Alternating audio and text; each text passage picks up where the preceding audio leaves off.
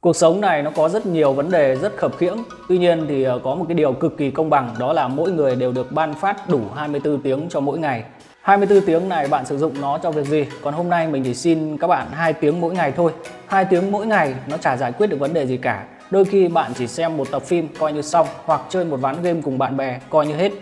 Tuy nhiên với cũng 2 tiếng đồng hồ như vậy nhưng mà nhiều người đã tạo ra cho mình được những cái nguồn thu nhập thụ động cực kỳ lớn. Và chủ đề ngày hôm nay mình muốn chia sẻ cho các bạn đó chính là một chủ đề cực kỳ hot, viết blog để kiếm tiền.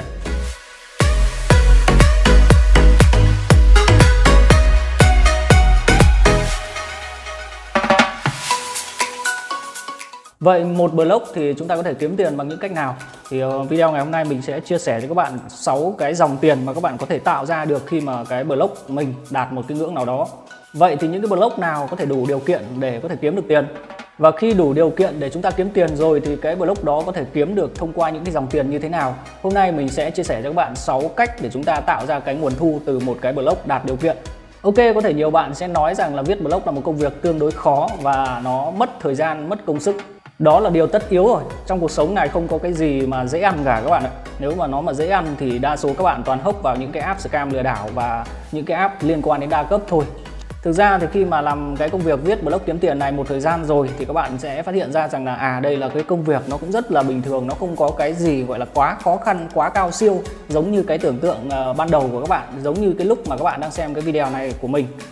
Và khi mà mình đã giới thiệu cho các bạn uh, cái công việc này thì mình cũng đã chuẩn bị cho các bạn một cái hành trang với một cái danh sách phát, một playlist chuyên sâu hướng dẫn chi tiết từng cái công việc nhỏ nhất đến những cái công việc lớn nhất liên quan đến công việc là viết blog kiếm tiền. Cho nên là các bạn cũng đừng quá lo lắng hãy sub kênh ờ, uh, subscribe kênh youtube của mình và chờ đợi những cái video tiếp theo mà mình bung ra thì các bạn cứ xem những cái hướng dẫn của mình là làm được ngay thôi nó cũng không có gì khó khăn cả. Đặc biệt là trong cái danh sách phát này mình sẽ tập trung khá sâu về cái cách để chúng ta làm thế nào đó để đạt một cái gia tốc nhanh nhất có thể để uh, cái blog của chúng ta dù mới nhưng mà nó sẽ đạt được những cái thành quả nhanh nhất trong cái thời gian ngắn nhất có thể ok, let's go. Hôm nay thì à, chủ đề hôm nay thì mình chỉ à, tập trung để à, phân tích cho các bạn khi mà một cái blog nó lớn rồi thì chúng ta sẽ có những cái cách nào để tạo ra những cái thu nhập cho cái blog của mình. Ok, khi mà một blog đạt điều kiện để chúng ta có thể kiếm tiền thông qua những cái lưu lượng truy cập từ bên ngoài vào cái blog này thì cái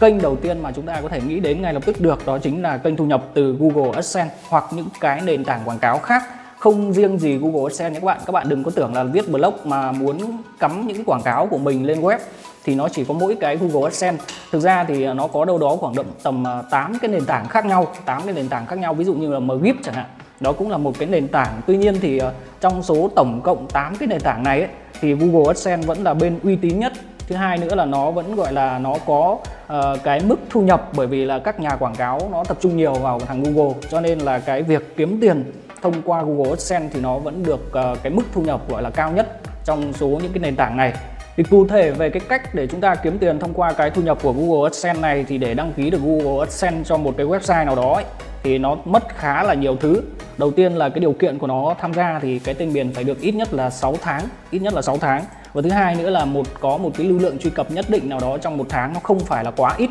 nó không quá ít thì uh, lúc đó các bạn mới được uh, xét duyệt cái website được phép đặt những cái quảng cáo của Google AdSense. Còn về cách đăng ký Google AdSense cũng như là cái cách để chúng ta đặt những cái uh, quảng cáo của Google lên trên uh, website lên trên những cái blog của mình ấy thì các bạn có thể tìm hiểu trên uh, Google nhé các bạn dùng keypad đấy là hướng dẫn ờ, cách tạo tài khoản Google AdSense này rồi là cách đặt quảng cáo Google AdSense lên trên website lên trên blog của mình vân vân. Đấy đã có rất nhiều bài hướng dẫn chi tiết những cái này gọi là kiến thức nền tảng rồi thì các bạn có thể tự tự, tự tìm hiểu ở bên ngoài. Vì cái này có nhiều người làm rồi cho nên mình ờ, nói đi nói lại nó mất hay đúng không ạ? Mình sẽ chỉ chia sẻ những cái kiến thức mà người khác chưa chia sẻ thôi.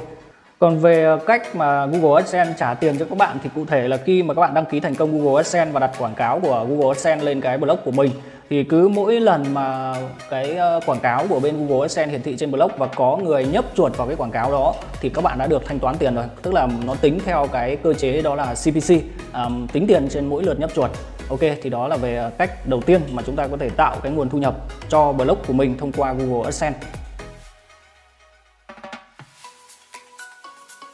Phương pháp thứ hai để có thể tạo ra được cái nguồn thu nhập cho blog của các bạn đó chính là các bạn có thể bán những cái sản phẩm và dịch vụ cá nhân trực tiếp trên cái blog của mình. Ví dụ như là ở năm cái case study mà mình đã giới thiệu ở trong video trước khi mà làm về các cái nền tảng affiliate network thì ờ, có một cái blog của bạn anh Phạm ấy thì bạn ấy đang tận dụng cái này rất là tốt bạn ấy ờ, ngoài cái blog đó bạn còn xây thêm một cái kênh youtube nữa và các bạn bạn ấy ngoài cái việc chia sẻ những cái thủ thuật làm đẹp hàng ngày thì bạn ấy còn uh, kèm thêm những cái sản phẩm và những cái sản phẩm này có thể là những cái sản phẩm mà bạn ấy nhập về và bạn ấy bán ra cho những cái fan của mình, hoặc là những cái sản phẩm mà bạn ấy tự làm luôn. Ví dụ như là tinh bột nghệ chẳng hạn, thì cái đấy ai chả làm được, đúng không ạ? Rồi, hoặc là ví dụ như là nhiều người ờ, sẽ có cái khuynh hướng là phát triển theo ví dụ như là những cái bạn về sinh viên về công nghệ thông tin chẳng hạn. Thì các bạn ờ, biết về trong cái lĩnh vực của mình, ví dụ như là về sửa chữa máy tính chẳng hạn. Thì các bạn có thể chia sẻ những cái thủ thuật sửa chữa máy tính trên cái blog của mình và kèm thêm dịch vụ cài Windows tại nhà. Ví dụ như thế, thằng cài Win dạo ngày xưa mình cũng hay làm cái trò này hoặc là những bà mẹ bỉm đi mẹ bỉm đi viết những cái blog chuyên về uh, gọi là nuôi dạy con ờ, trẻ nhỏ chẳng hạn thì uh, các bạn cũng có thể nhập hàng và bán những cái sản phẩm liên quan đến chăm sóc cho trẻ nhỏ. Vân vân và mây mây có rất nhiều cách quan trọng là bạn có những cái thế mạnh bạn có những cái sản phẩm bạn có những cái dịch vụ gì. Ví dụ như là cái youtube cái blog của mình là liên quan đến digital marketing thì mình cũng có thể bán thêm những cái dịch vụ như là viết bài chuẩn SEO hay là quảng cáo Google Ads trên những cái blog của mình đúng không ạ? Thì đó là cách thứ hai mà các bạn có thể tạo ra được những cái nguồn thu cho những cái ờ, blogger của mình. Cách thứ ba mà các bạn có thể kiếm tiền thông qua blog đó chính là cách cho các bên thuê treo banner trên ở một cái vị trí nào đó trên website của các bạn. Thì cái này khi mà website của các bạn, blog của các bạn nó lên được một cái ngưỡng nào đó, ví dụ như là traffic đã đạt được khoảng 10.000 lượt truy cập một tháng, thì các bạn có thể tạo ra những cái banner là uh, cho phép quảng cáo liên hệ quảng cáo chẳng hạn. Rồi ghi số điện thoại của các bạn vào đấy thì có những bên nào người ta quan tâm đến cái nguồn đối tượng nguồn lưu lượng và những cái chủ đề trong cái kênh blog của các bạn thì họ sẽ uh, gửi cho các bạn những cái contact để các bạn có thể liên hệ và đặt quảng cáo cho các cái bên uh, gọi là doanh nghiệp đó lên trên cái website blog của các bạn. Thì khi mà đặt lên như thế này thì các bạn có thể thu từ 500.000 đến 1 triệu đến 10 triệu tùy cái sức mạnh của blog. Ví dụ như là bây giờ mình viết một cái blog chuyên về à, uh, shippo đấy, tiền điện tử đúng không ạ? Thì khi mà mình uh, cái website cái blog của mình nó có một cái lưu lượng truy cập lớn mỗi tháng đều thì lúc đó mình hoàn toàn có thể bán quảng cáo cho những cái bên uh, gọi là sàn chứng khoán rồi uh, sàn uh, shippo tiền ảo đúng không ạ? Rồi uh, bán những cái banner cho những cái dự án DeFi, DeFi rồi uh, ICO vốn kêu gọi vốn vân vân. Rất nhiều cách rất nhiều uh, cái cái ờ, bên doanh nghiệp họ cần đến những cái quảng cáo banner kiểu như thế này để lan tỏa cái thương hiệu của người ta ra ngoài thị trường. Ok thì đó là cái cách thứ ba để chúng ta có thể kiếm tiền thông qua cái blog.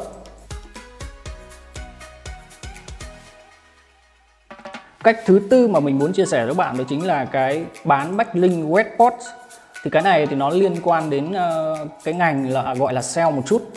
thì các bạn cứ hiểu na ná thì cái việc uh, bán backlink webport này ấy, thì đầu tiên đó là các bạn không cần phải viết nội dung. Lúc mà cái blog của các bạn mạnh rồi thì các bạn lúc này không cần phải viết nội dung nữa mà sẽ tự động có những bên người ta sẽ liên hệ với các bạn để thuê đặt backlink đặt đặt những cái link liên kết ấy, ở trên những cái website của các bạn như vậy. Thì khi mà họ liên hệ như vậy thì nội dung bên ờ, bên mua ấy họ sẽ tự ờ, sản xuất và các bạn không cần phải sản xuất thêm nội dung. Và linh lùng như thế nào họ sẽ tự chèn và họ sẽ mua một bài gọi là họ đăng họ PR về một sản phẩm dịch vụ nào đó của bên họ và họ đặt một cái backlink để mục đích chính của họ là để làm sale. Và lúc này thì họ sẽ gửi bài cho các bạn và các bạn chỉ việc kiểm tra và đăng lên cái blog cá nhân của các bạn thôi. Và các bạn sẽ thu phí cho cái uh, những cái bài đăng kiểu webpot như vậy. Thu phí thì các bạn có thể thu thành uh, gọi là hai hình thức. Hình thức thứ nhất đó là các bạn có thể thu phí một lần ví dụ một lần như thế 100 nghìn chẳng hạn thì các bạn sẽ bảo hành cho người ta ít nhất là bài đó sẽ tồn tại ở trên cái blog của các bạn bao nhiêu thời gian. Trung bình thì ờ, phải từ trên 3 năm, trên 3 năm thì mới người ta mới thuê kiểu đấy được. Còn hoặc không nữa thì các bạn có thể giảm cái số tiền xuống nhưng với điều kiện là các bạn sẽ thu theo, gọi là, một năm bao nhiêu tiền đấy trong một bài. Đấy, đó là những cái cách thứ tư mà các bạn có thể kiếm tiền thông qua cái blog cá nhân của mình. Cách thứ năm là cái cách mà giúp các bạn có thể tạo ra được cái nguồn thu khá là lớn đó chính là bán các cái bài PR thương hiệu, bán những cái sản phẩm và dịch vụ liên quan cho những cái doanh nghiệp thì nó cũng tương tự như cái cách mà các bạn cho các bên đặt banner thôi. Tuy nhiên thì nó sẽ không phải là dạng banner nữa mà nó chuyển sang cái dạng bài viết. Thì khi mà một cái công ty, một cái doanh nghiệp nào đó muốn thuê ờ, PR cho các cái thương hiệu, các sản phẩm và dịch vụ liên quan đến cái uh, trên cái blog của các bạn thì họ sẽ cũng phải tự viết bài nhé nhưng mà cái này nó liên quan uh, gọi là đến cái tầm mà cái blog của các bạn kiểu như một cái cổng cổng thông tin kiểu như một cái trang báo ấy thì lúc đó sẽ không còn là câu chuyện web post bình thường giống như là backlink nữa mà nó sẽ chuyển sang một cái dạng cao cấp hơn đó là dạng bài viết PR viral. Đấy, và lúc đó thì khi mà các bạn thu về tiền thì nó sẽ cực kỳ cao. Nếu mà các bạn đã làm việc với các bên báo chí rồi thì các bạn sẽ biết cái mức tiền cho những cái bài viết mang tính PR lên những cái trang báo nó cực kỳ lớn. Nó tính theo tiền triệu một uh, bài viết. Ví dụ như là cái case study của bạn oanh phạm đấy chẳng hạn. Cái bạn oanh phạm bây giờ bạn ấy bán webpot làm gì đúng không ạ? Webpot link thì nó chỉ áp dụng cho những cái blog bé thôi. Còn những cái blog mà đã phát triển đến một cái tầm cỡ nào đó rồi thì lúc này các bạn chỉ gọi là bán bài PR thôi chứ còn chả ai đi bán backlink webpot làm cái gì nữa các bạn cũng có thể hiểu nan á thì cái dạng bài PR thương hiệu này nó cũng là cái dạng bài kiểu webpot nhưng mà cái mức độ của nó nó sẽ cao hơn rất nhiều và giá thành thu về của các bạn nó cũng sẽ cao hơn rất nhiều so với những cái bài webpot bình thường. Cách kiếm tiền thứ sáu đến từ những cái blog mà các bạn tự viết đó chính là tận dụng thêm các cái nguồn uh, affiliate marketing ở phía bên ngoài